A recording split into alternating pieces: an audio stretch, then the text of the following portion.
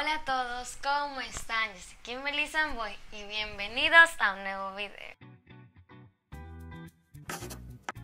En el día de hoy estoy súper feliz porque como pudieron ver en el título les voy a estar mostrando cómo yo hago mis diapositivas porque sé que muchas veces se nos dificulta o tenemos poco tiempo para hacerla y debemos de tratar que nuestros trabajos sean lo más, o sea, lo mejor posible. Lo primero que vamos a hacer es buscar SliceGo en Google o en su buscador. Entonces buscamos SliceGo. ¿Por qué? Porque esto es una página que nos va a dar plantillas más interesantes o más elaboradas a las que tenemos normalmente en PowerPoint o en Google Slides, lo que ustedes usen.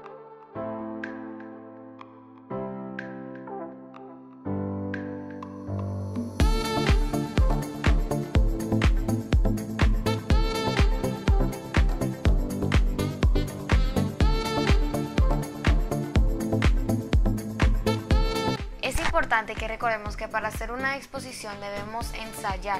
Yo sé que esto suena así súper, ay, qué aburrido, pero debemos ensayar porque esa es la manera de que las personas sepan el orden. Porque si no estamos coordinados y aparece que cada quien se está parando delante de su computadora a leer, se supone que no lo tenemos que aprender, pero también el grupo tiene que ser como unido. Y hablando de unido, otro punto muy importante es que una exposición no es empezar a decir definición y ahí por por un tubo hacia lo loco. No, debemos también tratar de que tenga como un hilo conductor. Otra cosa muy importante es que, aunque a mí me toque este pedacito de la exposición y sea algo larguísimo, todos debemos de leerlo. Todos debemos de tener un conocimiento general y tener la información del otro. Por ejemplo, yo estoy en la computadora, la debo de tener en la tablet o en el celular. Porque en dado caso de que el compañero falte, se le vaya el internet, se le vaya la luz, pase cualquier cosa, si el compañero tiene una parte súper importante, todas las partes son importantes, pero ustedes me entienden. Si el compañero tiene una parte que es muy importante y se vuela, no va a tener sentido. Es muy probable que el profesor le diga, leanlo de prensejito. Entonces ahí debemos de tener conocimiento general. Y lo que voy a hacer ahora es que voy a cambiar las imágenes porque no tiene que ver con el tema.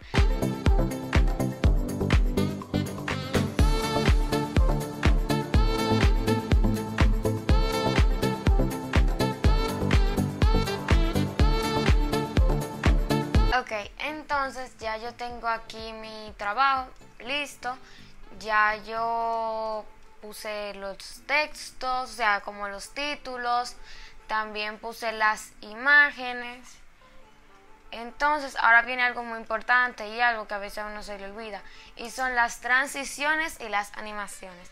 Esto es como todo el mundo sabe, una transición, que eso es para que mientras pase un slide tenga una forma, se haga un telón, hay muchísimas formas.